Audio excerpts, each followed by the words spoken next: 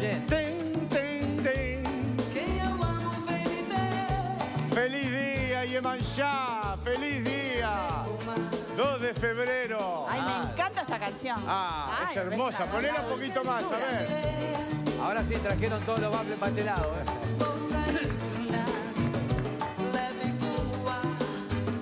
Qué lindo. 2 de febrero, día de la diosa, de la diosa del mar. Por todos lados se festeja y agradecer a todos los, los de la religión afroumbandista porque tomaron conciencia de que no se puede hacer como todos los años. Y eso está muy bueno también, a pesar de todo lo que, lo que se pone así en la ofrenda, todo eso tan lindo y bueno, se tomaron medidas como estaba explicando recién eh, la May Susana Andrade. Eh, y bueno, se hacen donaciones a las ollas populares. Hay otras formas también de, de ofrendarle a la Virgen del Mar todo, toda esa fe, Claro ¿verdad? que sí. Así que bueno, felicitaciones para todos y que, que sea un lindo, un lindo festejo como se puede hacer en este momento. Y ya volveremos a, a todos los festejos como siempre. Sí, señor. Vamos arriba. Sí, Saravá para todos. ¿eh? Saravá para Monte. ¿usted piensa que cuando se vuelva a la normalidad, si es que en algún momento se vuelve... Se va a volver, sí. ¿Se pudre todo o la gente ya va a estar como diferente? No, va a ser una locura. Una locura. Imagínate el próximo carnaval lo que va a ser. ¿Cómo sería? Y un desenfreno, porque la gente aguantando todo, todo eso ahí. Claro. Cuando se pueda, yo creo que va a ser un... Otra que cuplés. Todo. Monte, Todo. ¿qué va a hacer usted con tanta Vamos. pasión contenida? Todo, voy a ir a todos lados, voy a ir Claro. de Mayá, Carnaval, a la Todos los llamada. tablados. A todos lados, voy a ir a todos lados, voy a abrazar a la gente, voy a abrazar a la gente, voy a darle Y besos a la la cantidad de cosas que tienen para contar a los cuplés y para... Claro, va a ser- Todo. Dos años acumulados, imagínate los letristas como están ahora. Lindo. Imagínate Coco en esa transmisión. Ay, Por favor, Coco. No a dos más. conjuntos voy a presentar. que- Una ansiedad. ¡Ahora ¿viste? que hará falta! No, va uno. todo, todo. Ahí, Coco se no duerme más ahí. Bueno, la Prefectura de Policía e Intendencia, organizaciones umbandistas coordinaron el operativo para Imayá. Sí, muy bien. bueno, para que no se hagan aglomeraciones. ¿eh? Va a estar la policía también en las playas este, para, para controlar las aglomeraciones. Y, y bueno, espero que la diosa Yemanjá eh, no se quiera agitar con la policía por esto y nos mande y nos hagan algún trabajo con, con pororó y, y pollo.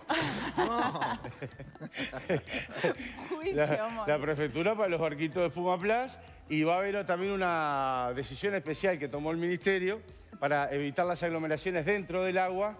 Eh, estamos entrenando un escuadrón especial de aguavivas. no entra nadie, imagínate. buena. Todo aguavivas, no eran, eran de plástico, ¿viste? Esos cosas que se explotan, pero... ¿Viste Messi vos? El contrato que firmó eh, gana 555 millones de dólares, de euros. De euros. De euros, que más todavía. No, maravilloso. Es increíble. Puede comprarse toda la selección uruguaya y le sobra plata. le sobra plata. Qué locura. No es tanto. No querrá, y el del IRPF después le quedan 500 pesos si le saca el IRPF. No, ¿No querrá comprar Rampla? Con 55 millones nomás te sobran 500, Messi. Imagínate Rampla con 55 No, palos. olvídate. No saludan más, no saludo más. Nunca- no. Bueno, vieron ayer la, la falla de internet, ¿no? Uy, sí. Tremendo. Tremendo. Qué tremendo, Se nos porque complicó acá también. ¿cómo se te complica la vida Claro. sin Porque internet? todo, todo, si ¿Eh? te pones a pensar. Por Todo, suerte, todo. Por suerte se solucionó. Fue a las Sí, 10 de la mañana y a las 12 más o menos se solucionó, pero Parece que fue una falla en un software, pero el sindicato está malísimo. Que dice que el sindicato como que no, que hay negligencia o algo así, ¿no? Sí, que no hay un correcto mantenimiento. Ahí va. Y como que quieren que no funcione bien para después eh, te lo vendo por aquí, por allá. Claro. ¿O no?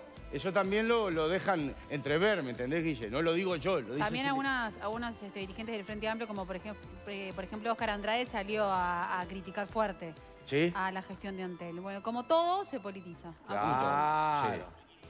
Sí, bueno, claro. Hay muchas señales, dice Pablo. Suspendieron las llamadas, por ¿Qué tendrá que ver? Claro, claro. Igual mandaron, mandaron por suerte, Muy bueno. mandaron mensaje de que estaba cortada la... Sí. ¿No?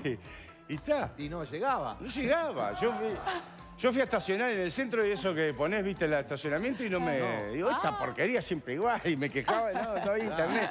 Casi me muero Ah, yo. porque estaba, se fue al otro choreo usted. Sí, tuve cholet. Eh, bueno, eh, yo pensé ayer, viste, que iba a volver todo a lo de antes. Cuando vi que no había internet, ¿me entendés? Por ejemplo, que íbamos a volver a las cartas. ¿Se acuerdan cuando escribíamos las cartas? Ay, me Sí. encanta Ah. las cartas, me Linda. encanta. Ah, a mí también, las tatú, me gustan. No, Eh, mm, las cartas que te escribían con amigos o sí, de a amor. o de- claro, de amor, que te llegaban a los 3, 4 meses cuando ya estabas casado con otro. El correo, viste, que así no llegaba. Este, los teléfonos públicos monederos, ¿se acuerdan? Ay, sí. A la máquina de escribir. Pensé que íbamos a volver a las, a las bibliotecas, ¿me Qué entendés? divino. Este, a las cartas que era... eh, Claro, hay que explicarle a los millennials, eh, como el caso de Lucía, por ejemplo, que es millennial. eh, hay que- yo decía, No, ¿cómo, le, cómo ¿Mil le vamos a explicar ¿Cómo? ¿Mil a Guille, tenés? a todos estos chiquilines de ahora, ¿Qué millennials, que cómo es que era cada cosa, ¿no? Por ejemplo, la carta, Lucía, te explico. Sí. Es como un mail, pero eh, que se hace sobre papel. Papel es esto, ¿te das cuenta? No, no, Este, saben ahora los chiquilines. Teléfono público es como un celular, pero que se ponía en una columna, en una esquina y cualquiera podía llamar. Marianita, te lo digo a vos que sos chica. Este, después, por ejemplo, la máquina de escribir es como una computadora, Lucía, Sí. pero sin pantalla. Tú escribís Ah. allí. Biblioteca es como un Google, una Wikipedia, Sí. pero escrito en papeles y guardados en un solo lugar. No te puedo creer. Por suerte volvió Internet enseguida, porque yo ya, me estaba... Además, yo soy fanático, yo soy adicto a Internet. ¿Ah, sí? Sí, sí, cuando me enteré que no había Internet, fui al hospital y me interné. Es muy bueno. Gracias, gracias. Horas de desarrollo para llegar ahí. Todo, todo lo que hizo parte. Qué brutal. Hay que estar, ¿eh?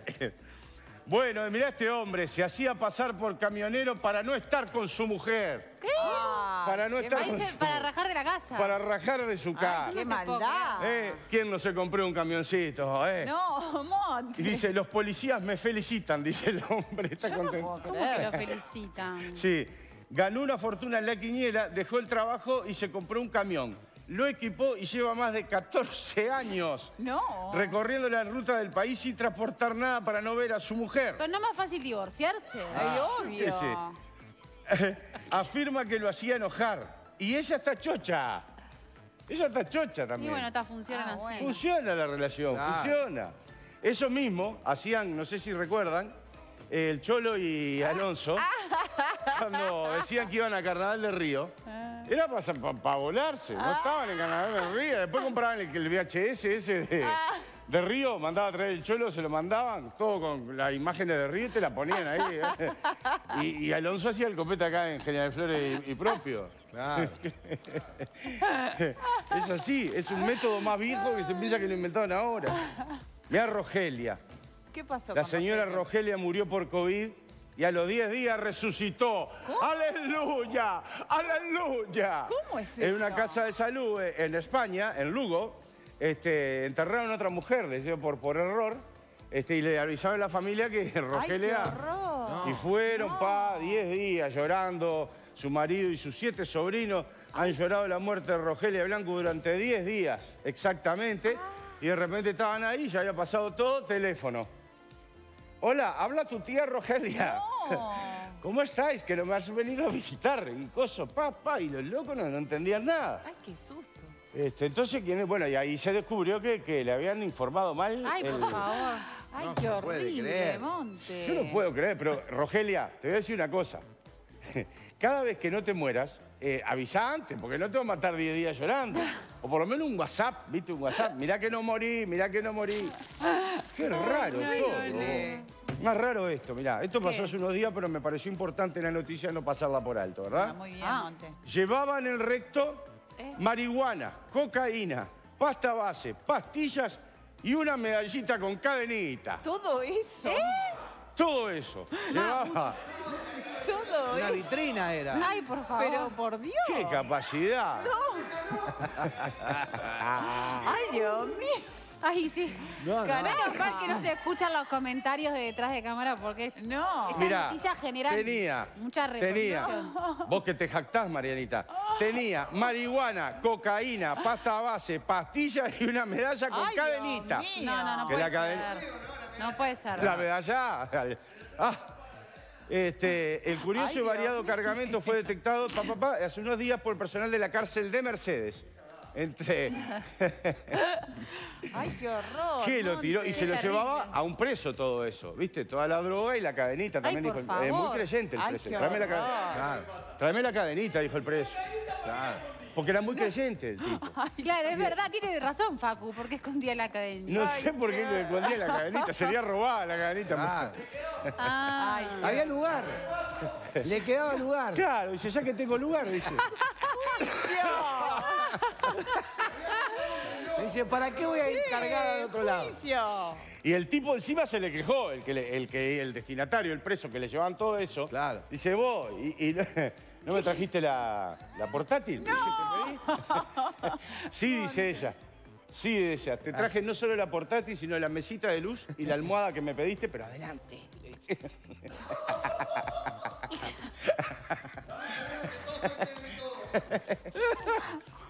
me fui, me fui, me fui el carajo. No, no, no, yo no puedo. Bueno, pero qué lindo para tener una... eh, No, no, no, no. no, pero es lindo para irse de camping con esta mu- muchacha, ¿eh? No, Ah, no, Monte. nada. ¿Cómo no? Escuchá, me meté la sombrilla, meté la garrafa 13 kilos, la carpa iglú.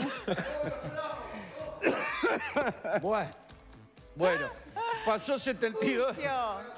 Por favor. Pasó 72 horas encerrado con 72 serpientes venenosas. Ah, qué horror, me muero. El respetado herpetólogo. ¿Qué, qué? ¿Saben lo que hace el herpetólogo? ¿Herpe qué? ¿Cómo es? Herpetólogo. Yo no lo digo, pero herpetólogo. ¿Qué hace? ¿Qué? ¿Qué hace? Y el herpetólogo indio Nilam Kumar, ¿te acordás? El Nilam. Eh, claro. sí. Fue con nosotros la gira que hicimos Talcahuano y, ¿cómo es la otra? Chubut, Y Chubut. Chubut. Este, ya habremos tomado copa con el Nilan Kumar, vos, por coco. vos. Ah, Pasó 72 horas en un recinto con 72 serpientes venenosas como compañía. Ah, Dios. Y demostró Ay, por favor. que las serpientes solo muerden cuando son provocadas. mira, Claro, es es un científico. Y además estableció un récord Guinness de estar horas con la... Claro. Eh, eh, esto le pasó a mi suegra, Pablo. ¿Qué, qué le pasó? Eh, quedó encerrada con 70 serpientes, la picaron, Ay, la po- mordieron. Ay, pobrecita. y bueno, el veneno, eh, el veneno hizo efecto ¿Y? y se murieron todas las serpientes. No. Casi todas, va, quedaron dos. eh, pie. Y Monte. mi suegra campante, campante. Bueno, señoras y señores, un saludo grande a todos los que me saludaron ayer cuando volví, pusieron en el Facebook, en el en YouTube, en todos lados, pusieron vamos arriba, Montelongo, volviste y todo eso. Les quiero mandar un beso porque siempre ponen vos mandar saludos, botón. Un beso grande a todos los que mandan eh, saludos lindos y un saludo también muy grande a Arturo Irigoitía de Mercedes. El gran cantante de Mercedes que está cumpliendo 50 años sobre los escenarios. Bien ahí, Arturo. Feliz Yemanjá para todos. Chao. Me voy. Vamos arriba.